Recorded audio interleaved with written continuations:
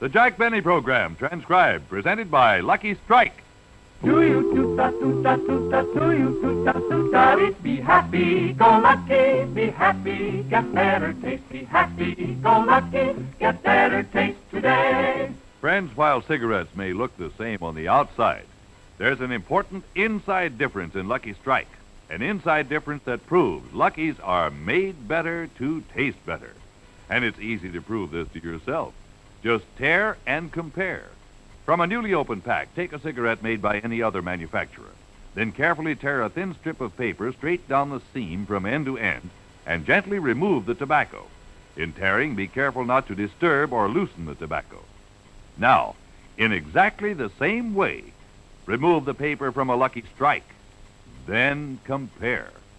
Some cigarettes are so loosely packed they fall apart. Others have air spaces that burn too fast, taste hot and harsh and dry. But look at that Lucky. See how it stays together. A perfect cylinder of fine, mild tobacco. See how round and firm and fully packed it is, with long strands of fresh, clean, good tasting tobacco. Because Luckies are made this way, they draw freely, smoke smoothly and evenly, taste fresh, clean, and mild. So tear and compare. Prove to yourself that Luckies are made better to taste better. Then make your next carton Lucky Strike. The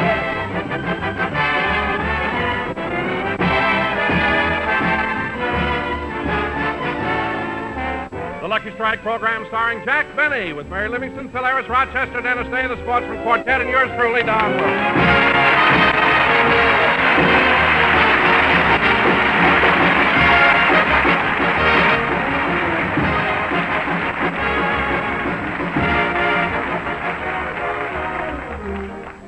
Ladies and gentlemen, just recently, Jack Benny received one of the Sylvania Pioneer Awards for his contribution to the history of radio. So tonight, in keeping with this honor, I feel that I should give Jack a dignified introduction. Well, thank you, Don. It's times like these I wish I were a poet. What a beautiful thought, Don. I can just imagine you a poet. Henry Wadsworth Fatfellow. but don't let me interrupt you. Go on. Don. Yes, folks, if I had the gift of poetry with which to describe our scintillating star, I. Hmm. I'll get it, Don. Hello? Hello, Mr. Benny. This is Rochester.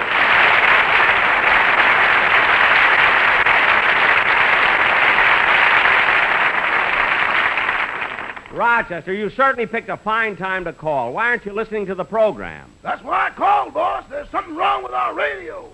Oh, well, maybe there's a break in the electric cord. I thought of that, boss, so I traced it. I started at the radio, went around the baseboard, up the wall, out the window, across the driveway, through the hedge, and right to the plug on Mr. Coleman's back porch.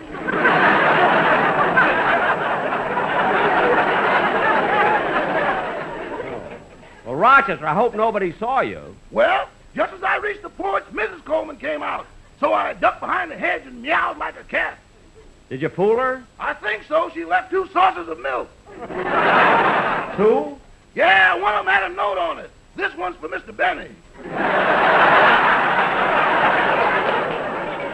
Good. I'll have it when I get home. I don't know what to do. I hate to miss your program.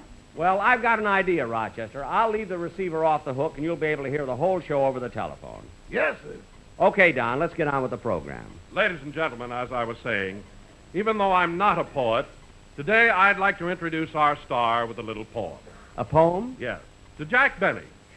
I love my boss, but he's so cheap. He only spends a slow buck. What a line, slow buck. His suits are from Montgomery Ward, his hair from Sears and Roebuck. and here he is, Jack Benny.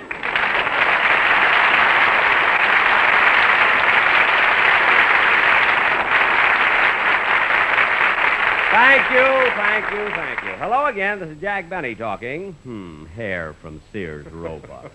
As a matter of fact, Don, I have a poem about you, too. Oh, about me? Yeah.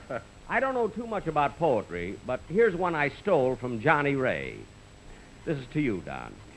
When your boss writes you a letter of goodbye, you'll feel better if you let your stomach down and cry. Remember that. Hey, Jackson, if you really want to get Wait a minute, Phil. Wait a minute. I want to see what Rochester thought of that joke. Hello? Hello? Hello? Rochester, hello? Hello? Rochester, I just told a joke. Where were you? I had to answer the door. The mailman was just here and he delivered a package. A package. Who from? Sears Roebuck, you can be a blonde again.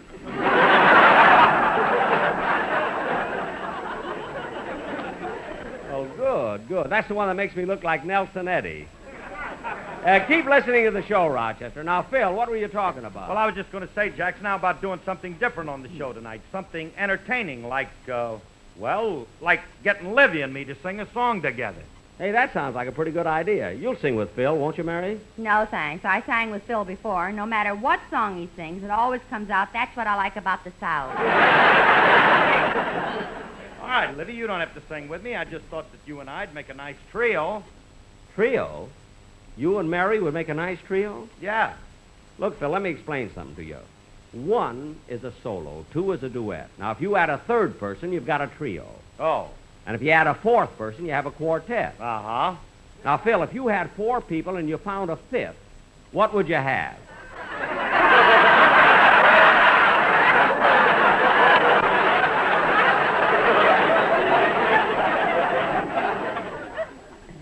Me that lead again, will you, Buster?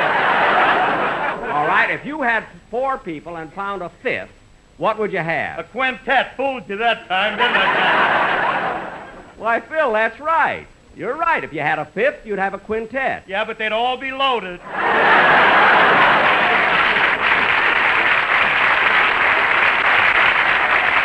I knew it couldn't laugh. What are you laughing at, Mary? Did you see the way his arranger has to write the music so Phil can read it? No, how? An eighth note is a diamond, a quarter note is a heart, a half note a club, and a whole note a spade. Phil, you have your music written out in diamonds, hearts, clubs, and spades? Certainly.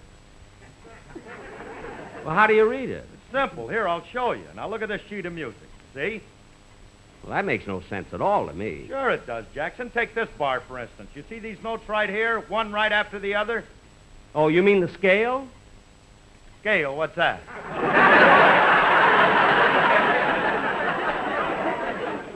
Phil, if you want to play your music according to Hoyle, that's all right with me. But right now we have to have a song. Oh, Dennis! Dennis! Dennis, what are you yawning about? I didn't get any sleep last night. My mother and father had a big argument. An argument? Yeah, it was all about you. My mother said you were a jerk.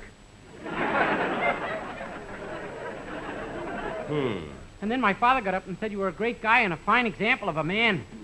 Your father said that? May he rest in peace. Now stop being silly. Your father's sitting right out here in the audience. Yeah, doesn't he look awful? Cut that out. Uh, Dennis, why does your mother dislike Jack so much? Well, she used to go with Mr. Benny before she met my father. Oh, she did not. She says she did. Maybe. What was your mother's name before she married your father? I didn't know her then. Of course you didn't. Now come on, kid. Let's have your song. Okay.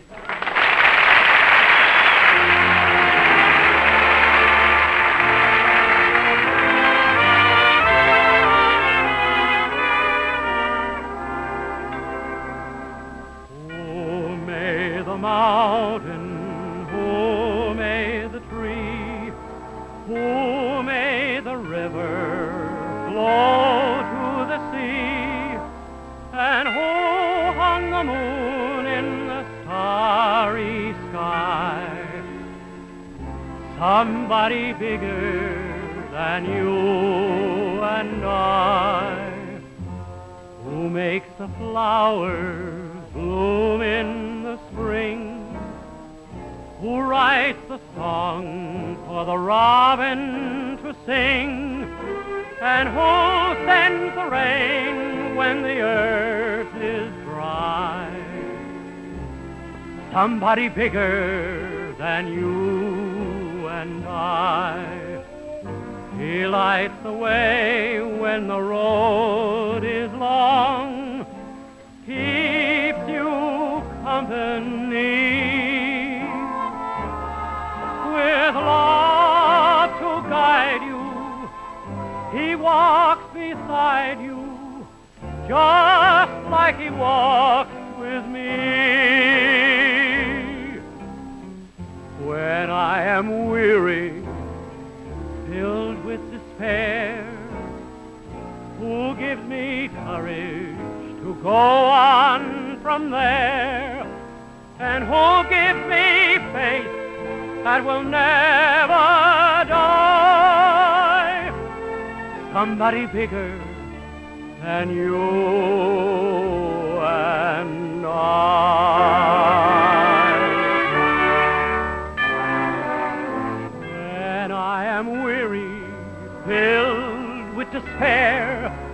who gives me courage to go on from there?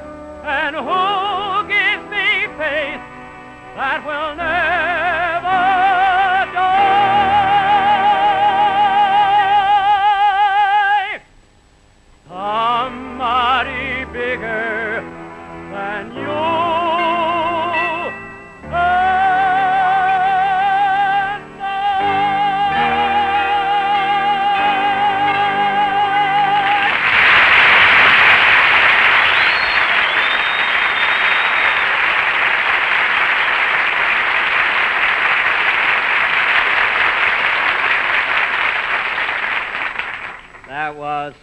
Somebody Bigger Than You and Me, sung by Dennis Day.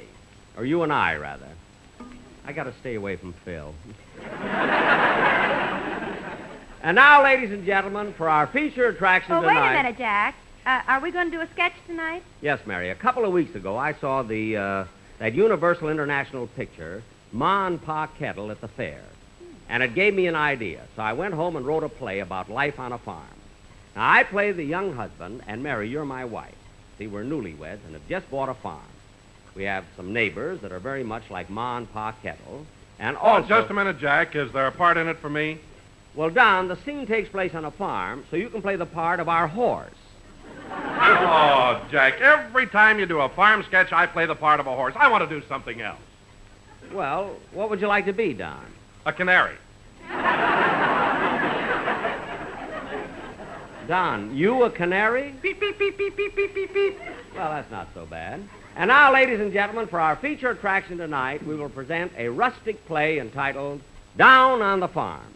Set the scene, Don.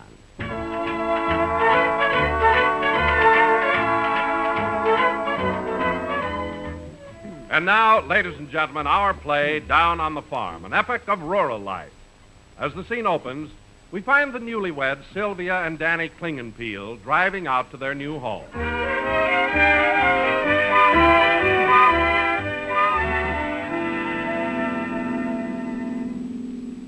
Gee, Sylvia, I hope you like the new farmhouse I bought.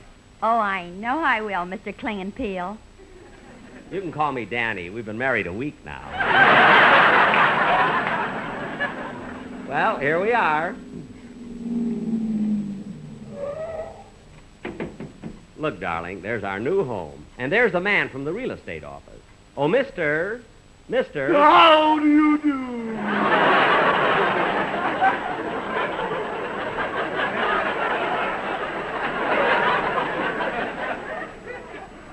A stranger. I'm, um, I'm the new owner of this house. Your name is Frank Nelson, isn't it? It was Frank, but I changed it to Ike. I want people to like me. I see. Uh, this house looks like there's been a lot of work done on it recently. Yes, we completely remodeled it from the basement to the ceiling. Good, good. Will you show us through the house? Yes, but don't expect me to play the piano. Let's go inside. Come on, honey. All right. I'm talking to my wife. Oh, I thought everybody liked me. Look, we want to see the house. Will you take us through, please? You follow me. This is the living room. Uh-huh. This is the dining room. Uh-huh. This is the breakfast room. And this is the guest room. Guest room? How do you do? How do you...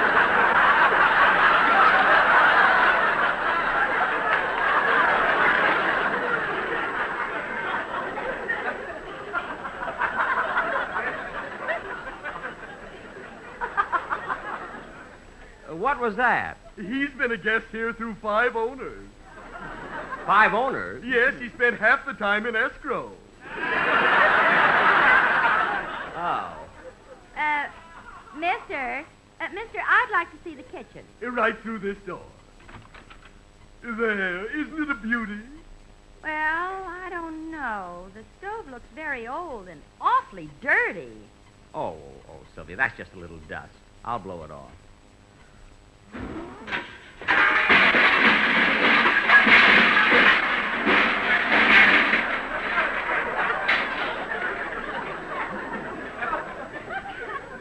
Hmm. Mister, have you tried Sen Sen?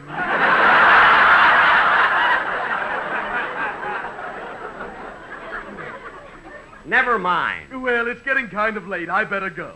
Goodbye, Mr. Nelson. Goodbye. Well, darling, here we are in our own little home. Uh, we better start getting to sleep. On a farm, you know, you have to get up at four in the morning. You're right, sweetheart. Good night. Good night.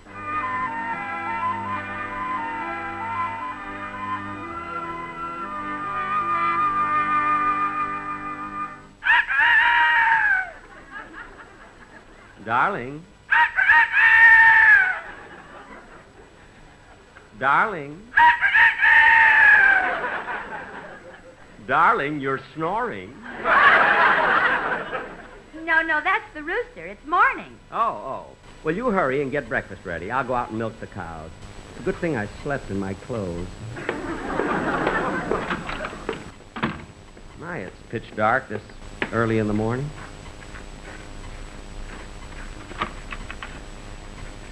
Now, where's the milking pail? Ah, here it is. Easy, bossy, easy.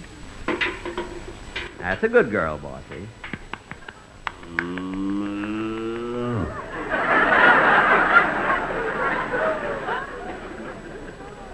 Easy, bossy, easy. Gee, I can't seem to find. Uh oh, wrong end.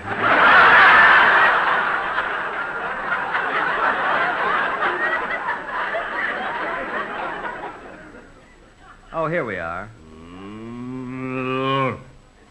See, that cow looks like the rooster.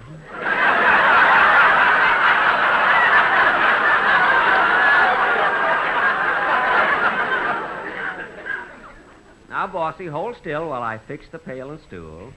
There. That's a good cow. Oh, la, la, la, la. Oh, la, la, la, la.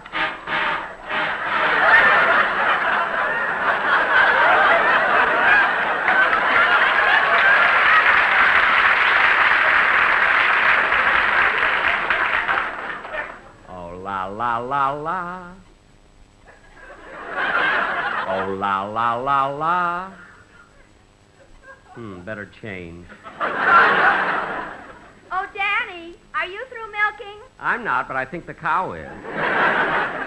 hey, Sylvia, what are you holding? Look, I just found it. It's a black kitten with a white stripe down its back. Well, shucks, if that isn't the cutest little. Kitty, have you tried Sen Sen?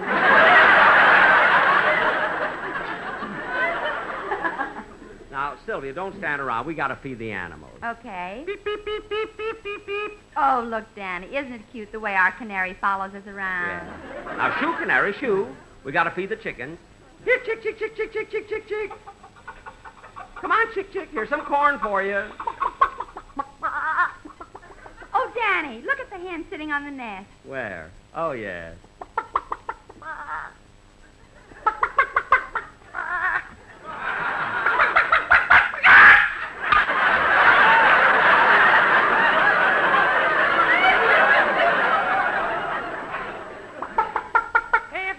That's all, folks.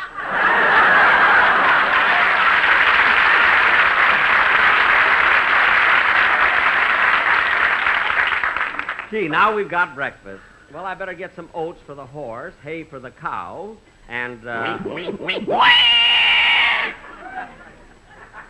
What happened? Our canary stepped on the horse and killed it.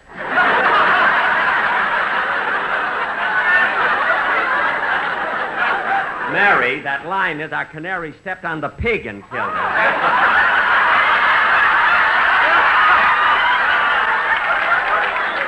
it's as an imitation of a pig. Mary says it stands on, on the cow and kills it. Well, he, he can't help it. He looks like everybody.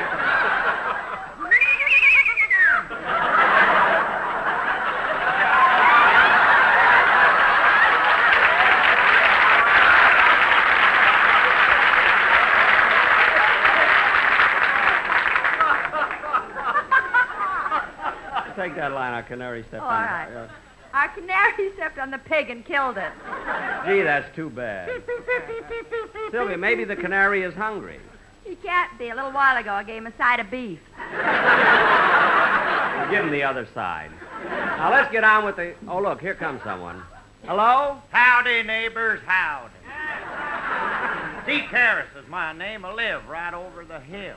Well, do you do you have a farm over there? Yep, I raise a little of this, a little of that. Mostly corn. For your pig? Nope, from a still. Oh, you have a still? Yep, it'll make 20 gallons a day. 20 gallons a day. Well, that isn't much. Tain't bad. My old lady don't drink.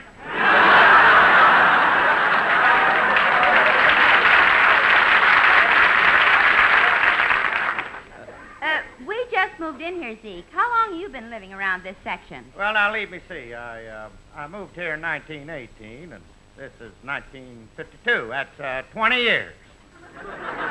Wait a minute, Zeke. From 1918 to now is 34 years you've lived here. Well, we don't count the 14 years of prohibition as living. Oh, you got any children? Yep, I got two boys. We ain't seen them since they run away with the circus 10 years ago. Sure missed the ball.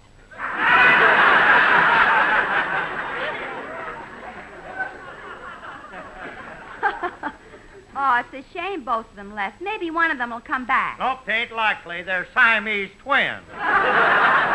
Oh, twins, eh? Yep, they're pretty attached to each other. oh, Zeke, you may not have a cow, but you sure milked that one. By the way, Zeke, is that field over there Yep, part of that's your farm? place- Yeah, that's the place where I raise my tobacco. Uh, them are my hired hands out there picking. Where? Right over there. Reuben, Reuben, we've been thinking what a fine job we have here, growing all this fine tobacco for those luckies every year. We know all about those luckies, they're the best we do declare. You will find them made much better if you tear and then compare. Ah, Reuben, Reuben, is it true? Have you been to the county fair? Did you see those burlesque dancers? Did you stare and then compare?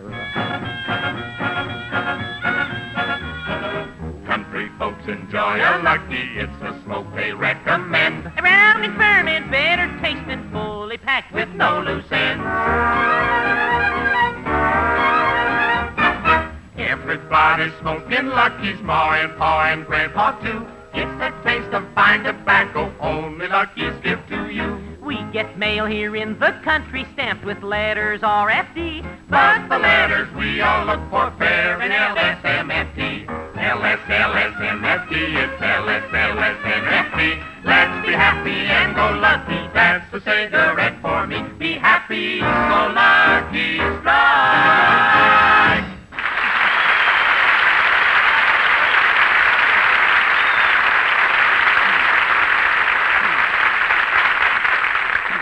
Say, Zeke, your farm hands are pretty good. Yep, they sing all the time. Hiya, neighbors. Howdy, Zeke. Good to see you all. Well, hello. Uh, uh. Ma Kettle is the name. Live right down the road. Which house? No house, just down the road. Uh, no house? Yep, she's married to Paul Kettle, the laziest man in the state. Yep, you just can't make him move. One day he sat on an acorn. Twenty years later, we had to get him down out of the tree. No kidding. Well, what do you know? Here comes Paul Kettle now, the lazy critter. Name is Dennis, but folks call him Paul. Howdy, Paul. Oh, hi, Zeke. Hi, folks. Ma, put your arms around me and squeeze me. I feel like exhaling.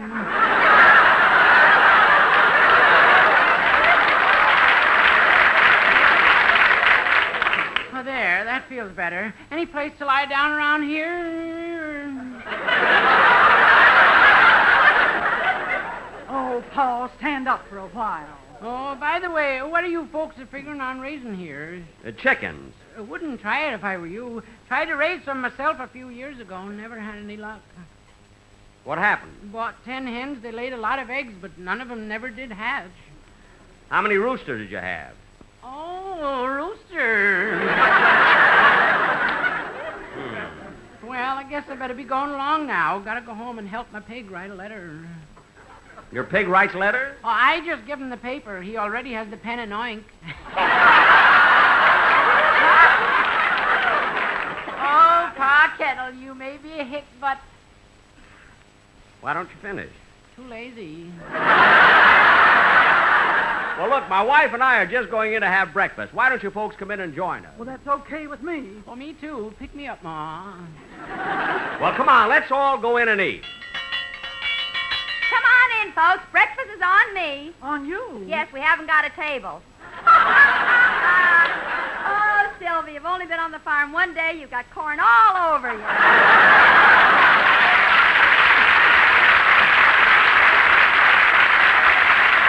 Come on, everybody, let's eat. Ladies and gentlemen, I would like to solicit your help for the victims of muscular dystrophy. There are over 200,000 victims. Three fourths of this number are males, and two thirds of these males are boys under 18. It is commonplace that when the cause of a disease is found, the cure usually follows. So won't you please contribute as much as you can? Send your contributions to MDA, Los Angeles 19, California. Thank you. Jack will be back in just a moment. But first, Do you toot ta toot ta toot ta do you ta toot ta it be happy go lucky get better taste today. Friends, people everywhere are tearing and comparing, seeing for themselves that Lucky's are made better to taste better. Try it yourself. From a newly opened pack, take a cigarette made by any other manufacturer and carefully remove the paper by tearing down the seam from end to end. Don't dig into or crumble the tobacco. Now, do exactly the same with a Lucky Strike. Then compare.